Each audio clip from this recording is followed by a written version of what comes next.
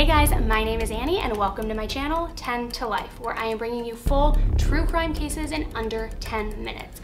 Full cases, start to finish, but only what you want to hear. None of the boring storylines or the empty plots, just the key facts, the most insane details, and all the unexpected stuff we know happens along the way. I'm coming to you directly from my apartment here in Brooklyn, New York, which if you're watching the video version of this on my YouTube channel, you can see beautiful New York behind me. And if you're listening to the podcast version of this, but you want to check out the video version, feel free to head over to my YouTube channel. If you guys like what you hear, please like, comment, share, review, and don't forget to subscribe by clicking that subscribe button below. If you have any case recommendations, send them my way. I would love to hear them. And don't forget to follow me on social at underscore Annie Elise. So let's get into the case.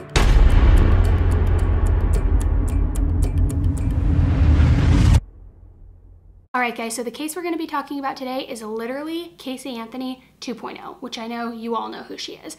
And this case is so eerily similar to her to where literally the only difference is actually that it takes place in Tennessee and not Florida. But it is that crazy and that similar. So let's jump in. It all started on February 19, 2020, when the Tennessee Bureau of Investigation issued an Amber Alert on 15 month old Evelyn Boswell. Evelyn had been reported missing the day earlier by her grandfather, Tommy Boswell. He told police that he hadn't seen her since Thanksgiving and that other family members say they hadn't seen her since December. So it's now been two months since anybody's seen this little girl. Why hasn't she been reported missing? Why hasn't there been an Amber Alert? What's going on? The police start trying to pinpoint when was the last day that somebody actually saw her, and one report suggested that it was was December 26th, but quickly they ruled that out. And then a babysitter says she saw Evelyn either December 10th or 11th, so that's probably the real day, somewhere in there, early December. So police, of course, immediately go to Evelyn's mom because who else would know better than her where she is? Evelyn's mom's name is Megan Boswell. She's 18 years old, and Evelyn's father's name is Ethan Perry. Now, Megan and Ethan apparently had a one night stand or a very short, quick relationship because it was over as soon as it started, and he really has been absent and not in the picture this entire time. However, Megan now has a new boyfriend, Hunter Wood, and they've been dating since December. So they start asking Megan, Where's Evelyn? When's the last time you saw her? And she says, She's with her dad, Ethan, and I was actually supposed to go meet them in a grocery store in the parking lot to do a swap and pick her up. Investigators quickly learn that that's not true and that Ethan is actually in the army, stationed away in Louisiana, and that he hasn't been with Evelyn. And here's where Megan's stories start changing countless times. Two days after the Amber Alert is issued, February 21st, it is like February 21st is a big day. A lot happens on this day, so try to stay with me on this one. We kick it off with Megan doing an interview with the local news station. And in this interview, her behavior is super bizarre. She is over emotional in some pieces, very disconnected in others, and giving a little bit of information, but not enough. It's just very weird. And then, towards the end of the interview, she actually says, I know who has Evelyn. And the reporter's like, What? What do you mean? Okay, so who has Evelyn? And Megan says, The babysitter has Evelyn. And she says she didn't want to contact police and she hasn't reported her missing because she was too scared that the babysitter was going to take off and disappear with her. Well, the reason I didn't report it or anything is because I knew the person who had her and I didn't want them to run away with her. Sounds a lot like Casey Anthony's story, and we're not believing it. She continues to say that this babysitter still has her daughter. So if she still has your daughter, then why are you issuing Amber Alerts? Why are you doing media conferences? Why don't you go get your daughter? That same day, Hunter Wood, Megan's boyfriend, does an interview with the press. And he tries to disconnect from Megan as much as possible. And he actually broke up with Megan once the Amber Alert was issued. He tells the press that he's never even met Evelyn, that he's only seen photos, and that he and Megan have been dating on and off since December, but that it wasn't very serious. I've never seen the baby, of course, but as well as the baby has been with the father, you know, back from military leave.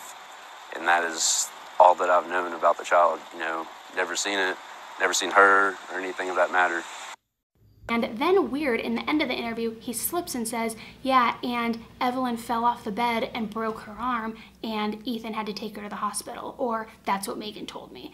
Which was really weird because Megan has never publicly said anything about Evelyn breaking her arm. So he's either lying, or she's been lying, or there's some sort of cover up, but it was just very weird for him to drop that. And also, on a side note, he kept trying to plug his Chicken Shack restaurant in the interview, which was just super weird and also in a really poor taste. And what's really interesting interesting though is he's been saying that they've been dating on and off since December, right? But then when investigators were looking and doing their research, Megan had a second Facebook page where her last name was Wood, Hunter's last name.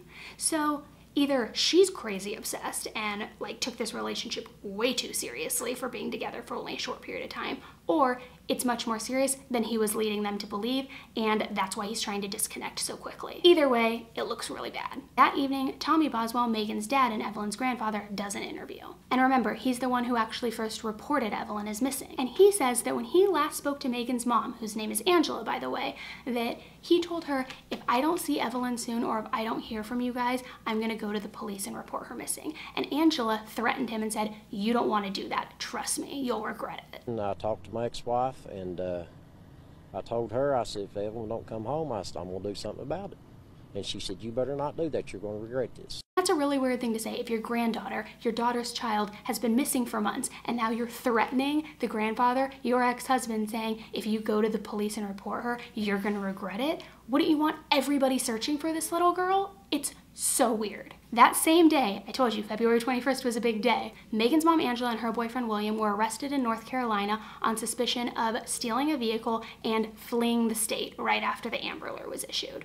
They were charged with theft of property for the 2007 stolen BMW, but here's where things get weird because we know a case like this, there's going to be a lot of twists. That stolen BMW was actually Megan's boyfriend's family's car. And apparently, they had this previous conversation where Megan's mom was going to be buying this BMW from his family, but no money was ever exchanged, so they reported it stolen. So when Megan's mom is being questioned by police, she says, No, I absolutely didn't steal this vehicle. Hunter gave it to me, saying if I ever needed a car to take her to doctor's appointments or do whatever, to use this one. Police then say, Okay, well, if this whole story is true, why did you and William flee Tennessee and go to North Carolina right after the Amber Alert was issued? And she tells them, them it was to clear her head. Um, why would you want to go to an entirely different state to clear your head? Wouldn't you want to be searching for your missing granddaughter? What are you talking about? They both end up bonding out and the case just continues to get unreal. Two days later, Megan does another interview because Megan loves her interviews. And here's where her story changes again. And she says her mom took Evelyn to a campsite in Virginia. Old TBI, where to find her in Mendota my mom took her to a campground and a silver camper, and if they don't go tonight, I'm going to go find her myself. And then the reporter says, Well, why didn't you call your mom and just ask her to bring Evelyn back? My mom, like you can ask her, is a very vindictive, manipulating person, and yes. she basically like threatened me the whole time. And she was just like, Oh, she's safe, like, you know, that kind of thing. And then she started threatening me, which, like I said, I'm not going to get into like everything she threatened me with, you know, because I'm just not, but. So, was her mom the babysitter that she was talking about in the earlier interview? She said something in that interview that was also very weird. She starts describing her family as gypsies. And she says, well, yeah, my dad, he's actually very proud of that, you know? He's mad about the rumors going on because it's not like we're a cult. And people have been asking if there's some sort of gypsy ringleader, and there's not. I mean, it's not like we're ringleaders who are kidnapping babies or anything. It's nothing like that. Uh, what? So police go to this campground in Virginia, search it, and nothing is found. And Megan's story is proven to be just another lie. The very next day, Megan's chiming right back into the media circuit, and she messages them on Facebook and says, The police asked me to take a polygraph, but I can't because I'm pregnant which is such a weird thing to say, but also what's even more weird about that is the police never asked her to do a polygraph, and she wasn't pregnant. So finally, after all of these conflicting stories, Megan's arrested on February 25th, which was just not even a week after the Amber Alert was issued. She was charged with filing a false report because she had impeded the investigation with all of these conflicting stories. In a press conference,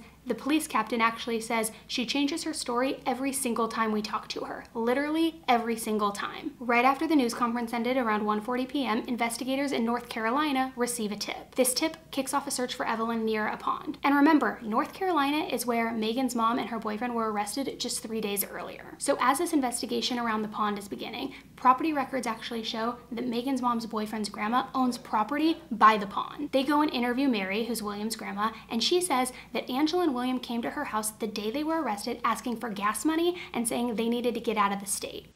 His record from youth up, he's been devious enough to be involved in something.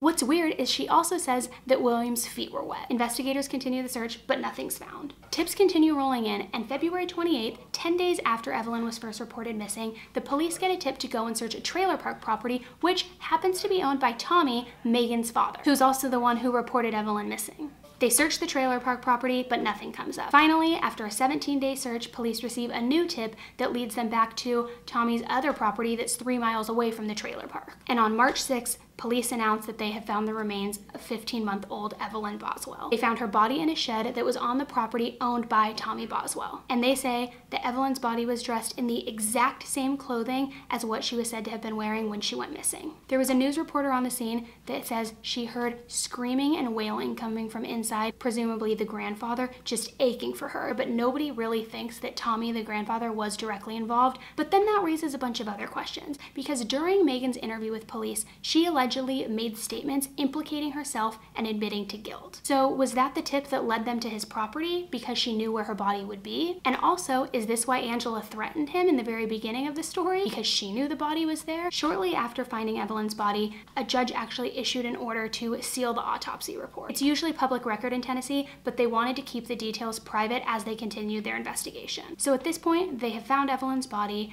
They still don't know how she was killed, who killed her, what the story is, and where was Megan from the time of the issued Amber Alert until her arrest. Where was she for that almost week long window? Who was she staying with? A woman named Christy Broom comes forward and says that her daughter Maddie was actually very good friends with Megan growing up, that they were completely inseparable, but that her daughter Maddie had unfortunately passed away in 2018 at just 17 years old, but that she continued to be in contact with Megan. And she goes on to say she always treated Megan as her own child and still felt that very close bond bond with her. Christy says that shortly after the Amber Alert was issued, Megan reaches out to her because she had nowhere to live. At this point, Hunter had broken up with her. She couldn't stay with either parent, so she had nowhere to go. And she says that she felt so bad for her, she said, Come and stay with me. At that point, she also felt like she knew Megan and that she wasn't capable of hurting her own daughter. But then she says that the entire time Megan was staying with her, she didn't act interested in finding her daughter at all. She says Megan never admitted to doing anything to Evelyn and always maintained her innocence, but her behavior was very off off. She says that there were three days where she thought she would just go downstairs and Megan would tell her what's going on and would tell her where Evelyn is and what happened, but that that never happened. And that instead, Megan continuously, repeatedly expressed concern for being arrested. And this was all while the searches were happening on her father's property. So Christy says, Megan, what are you talking about? Why do you keep saying that? Why do you think you're to be arrested? And she says, I just feel like my mom would hurt Evelyn and put her on my dad's property. And Christy said Megan had no tears, no emotion, no nothing. So she says, Megan, you just said that you think your mom could have hurt Evelyn or killed her and put her on your dad's property. And you have no emotion whatsoever to that? And Megan's response was just, I don't know. I just feel like I'm gonna get arrested. Okay. Christy also says that the night they were searching the trailer park property that belongs to Megan's father, that Megan wet the bed. Which that's pretty telling. You're not wetting the bed and scared to death of being arrested if you're innocent. And if you think, oh my god, I had nothing to do with this, it's my family, or it's a stranger, it's the babysitter, it's whoever, these people from Mars, whatever story she was trying to sell at that point. This is behavior of somebody who is guilty. A couple weeks later, Megan's mom Angela is rearrested, shocker, this time for burglary, and get this, for burglary at her own mother's house. I mean, this bitch is crazy. So now, Angela and Megan are in the exact same jail together in Tennessee. Karma. On May 20th, a grand jury indicted Megan on 11 counts of false reporting, and her bail was set at $150,000, but her dad said, I'm not bonding her out. There's no way. Because he obviously at this point too knows she is somehow involved in whatever happened to his poor little granddaughter Evelyn. At this point, the judge still hadn't requested that Megan enter a plea, but she did ask him to lower her bail amount, which he refused to do because he said, You're too much of a flight risk. It's sticking at 150. Her next court appearance is set for a month from now on July 31st. I can't wait to see what comes out of that. Police haven't yet released the search warrant affidavit, which usually outlines the discovery, what led them to the property, what the probable cause was, all of these different things. They're holding that pretty close to the vest right now, and they also haven't shed light on if there's any other suspects aside from Megan. They also haven't released the official cause of death yet. So Megan is set to go to court in just a few short weeks on July 31st. I can't wait. Let's see if her mom says something. I feel like this is the kind of family who they're all gonna flip on each other at some point, so we're gonna get to the bottom of it sooner or later. It's just such a tragedy and shouldn't have happened and hopefully all of these people are held accountable. So I'll keep you updated after the next court date, which is the 31st, and we'll go from there. If you enjoyed listening to this case, please subscribe by hitting that button below. Feel free to comment, review, like, share, would love to hear from you. And as always, please email me any case recommendations. And until next time, thanks guys.